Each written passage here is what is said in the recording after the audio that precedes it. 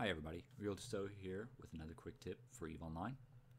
Uh, when you fly out into space, you have your modules set, the high slots, mid slots, and low slots down here uh, by default.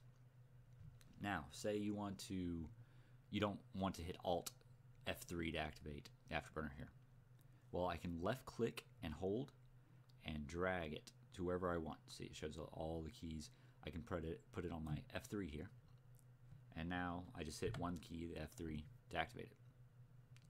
I uh, hope that helps. Uh, if you want to see more EVE Online videos, make sure you hit that subscribe button. And if you found this tip useful, hit that thumbs up.